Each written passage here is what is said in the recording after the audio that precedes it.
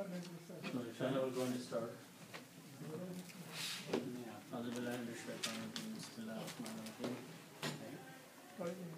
So, inshallah, we will study ayah number 36 of Surah Al Baqarah. Um, it's a continuation from the previous ayahs, and uh, in the previous ayah, Allah subhanahu wa ta'ala mentioned to Adam alayhi salam that he can live in the paradise with his wife, but instructed that do not go close to a certain tree. So that's where the previous ayah ends. This ayah it starts the next portion of the event. So first let's do a simple translation. The ayah starts with فَأَزَلَّهُمَا for azallahuma is, and we will look into that word, is something if someone is making you make a mistake. There are two things. You make a mistake or someone is making you to do that. Okay? That's the azallah, huma. Huma means both of them. So shaitan, the next word is shaitan. Shaitan caused them to make a mistake. They did not do with their own intention, but he led them into making a mistake. And we'll look at this word into more details. And where was that? Anaha from the paradise. Okay. So he made them get out of, from that place. Okay. He made them get out of paradise. Mimma kana fihi means in that they were. In that place where they were, he caused them to get out of that place. Okay.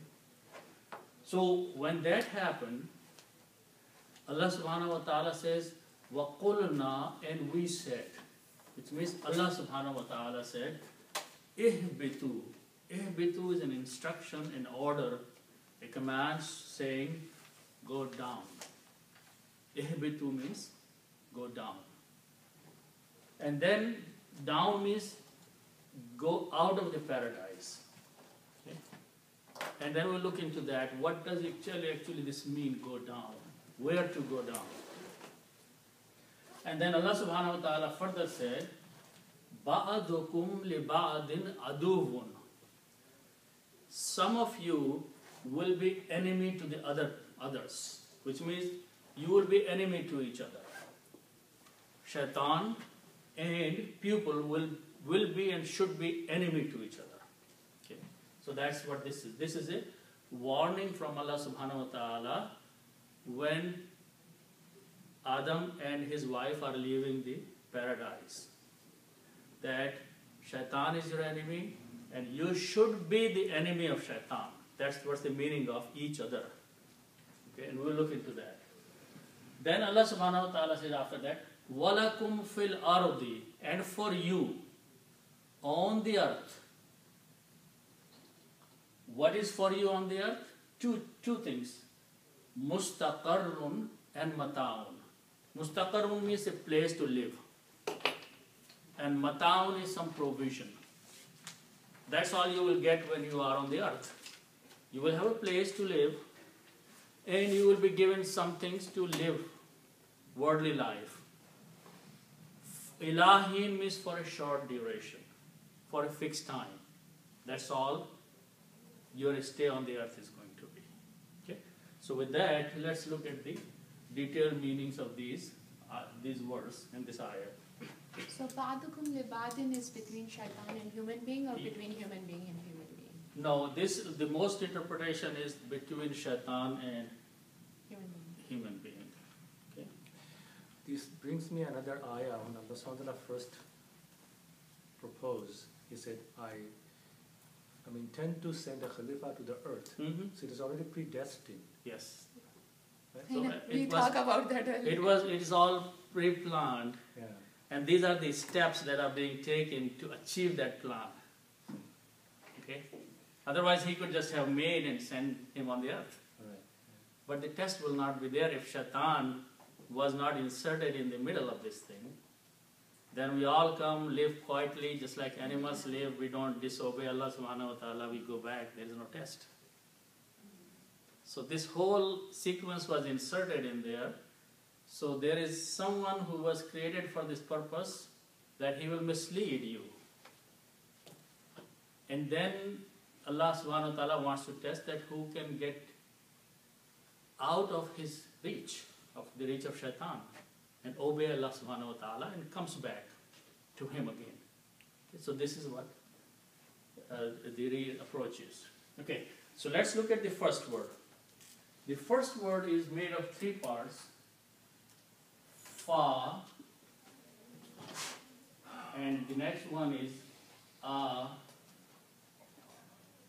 Zalla,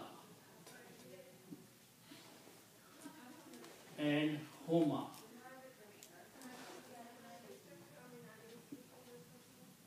Fa'azallahuma. Three different words. Okay? Fa means so or then. The middle word azalla starts with these three root letters alif, za, and lam. These are the root letters. And the meaning actually before that the root letters are za, lam, and lam. These are the root three root letters. And the meaning of these three letters is to slip or to make a mistake.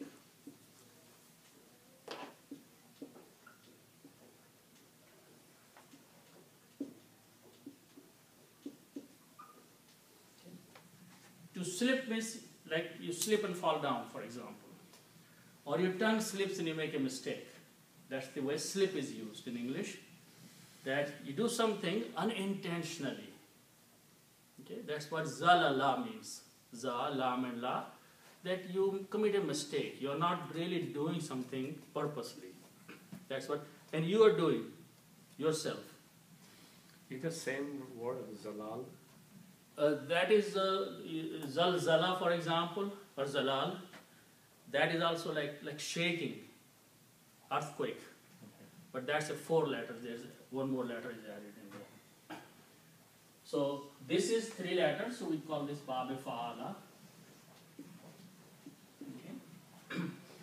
if we go to the next bab, which is babe afala, in babe afala you put a alif in the beginning and you spell like this. Harakats are af'ala. Af'ala, so this word will become alif with hamza and za, lam, and lam. Okay? Alif of this like a babe af'ala. So azlala. Okay. When you read, when there are two letters together, this is written and pronounced like this way. A zalla. Azalla. Okay. The meaning of this word is that is someone making you slip. Someone is making you make a mistake. You're not doing. But someone is coming to you and say, do this thing. And you make a mistake. Okay, so you're not, in this, this word zala means you are making a mistake yourself. As zalla means someone is causing you to make a mistake. Okay, so the meaning is it to cause, make a mistake.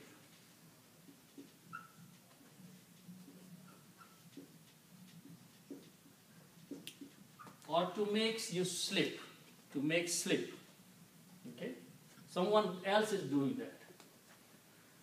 And also, the name of the Bab here, af'ala, is also the grammar of third person. Which means the meaning of this will be He made you or He caused you make a mistake.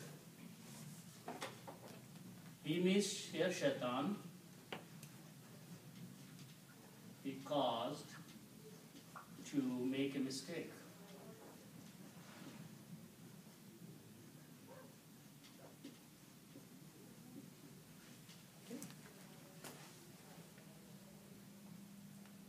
Now, the word huma, okay, so let's look at some grammar here. This, this is a pronouns and hova means he. And this is for masculine. Hiya means she. Okay? And homa means they both. They, two people. Homa means they for two people. And homo means they for all. And this is masculine. And hunna is feminine. Hunna means they, all, and feminine. Masculine and feminine.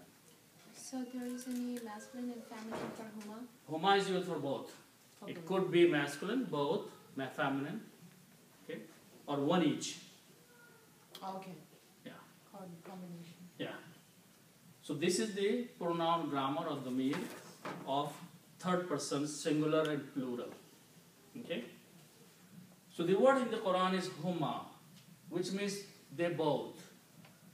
And both is means Adam and his wife.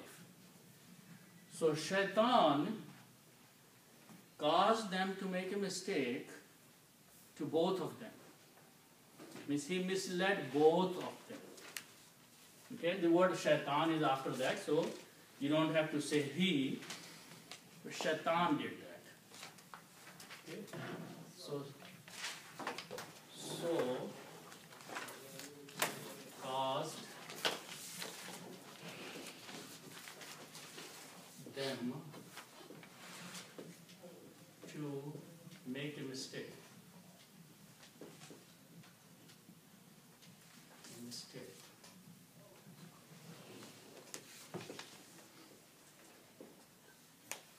And Shaitan did that.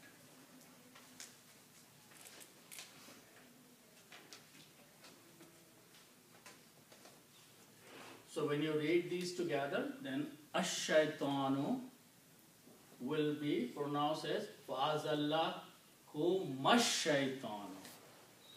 Okay, that's the tajweed.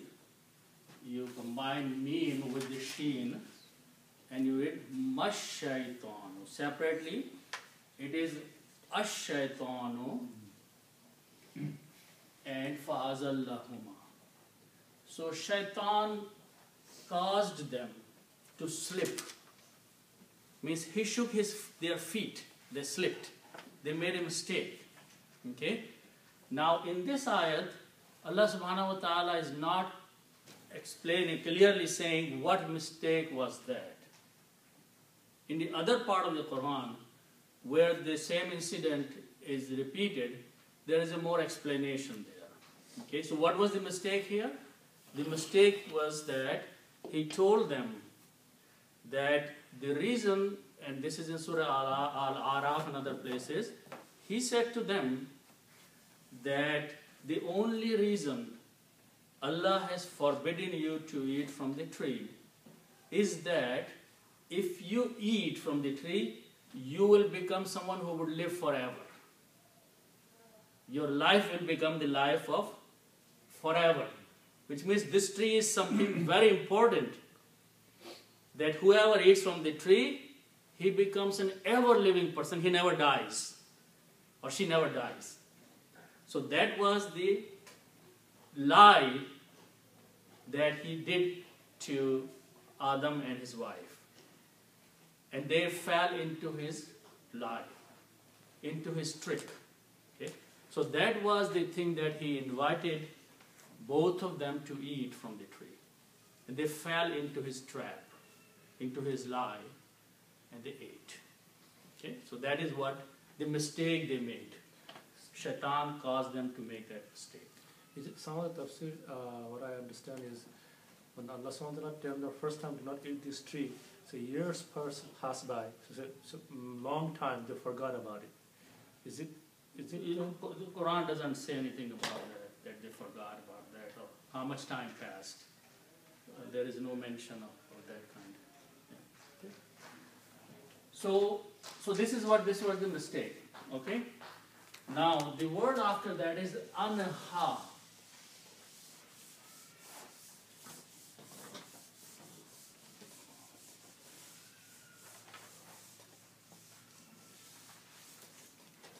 Anha is means un means from, ha means it. Ha means her, but it is also in English it. from it.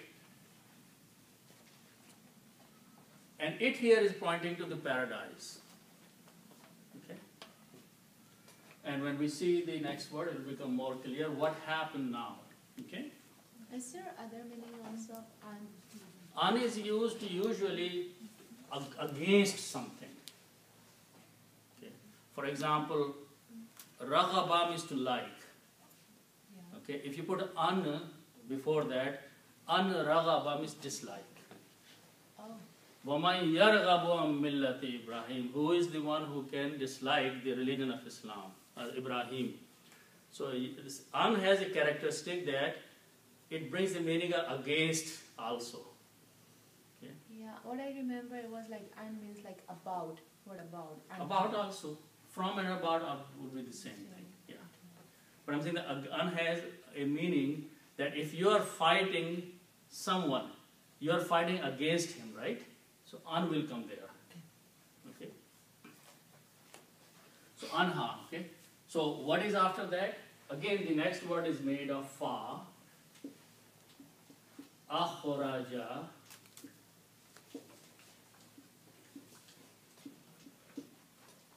Huma. فأخرجهما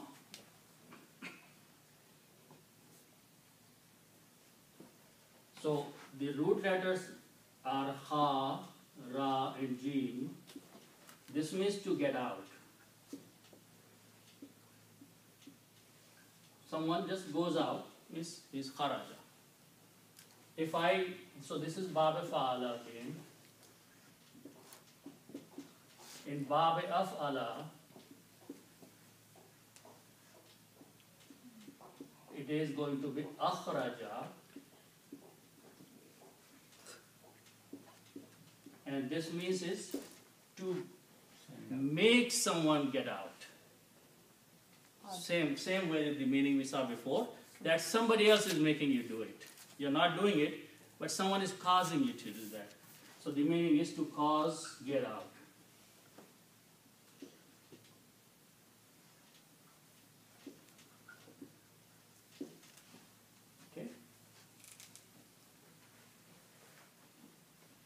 So akhraja, then he caused Huma, both of them get out of there. He became the reason for them to get out. if it is yakhraja, then could have been the get out, it's command. No, no, no, no, no, no. That is a command. That's akhraj. Akhraj. Yeah. So this is not the command.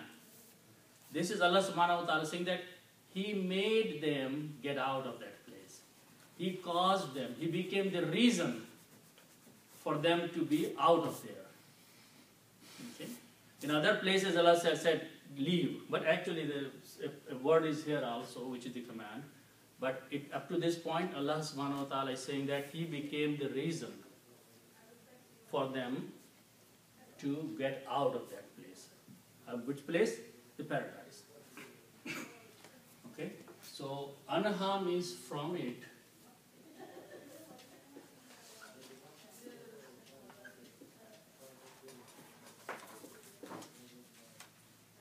فأخرجهما then he caused them and them both both of them to get out. So he became the reason for them to get out of the place. فَأَخْرَجَهُمَا They did not get out on their own intention, but he became the reason for them to be out. فَأَخْرَجَهُمَا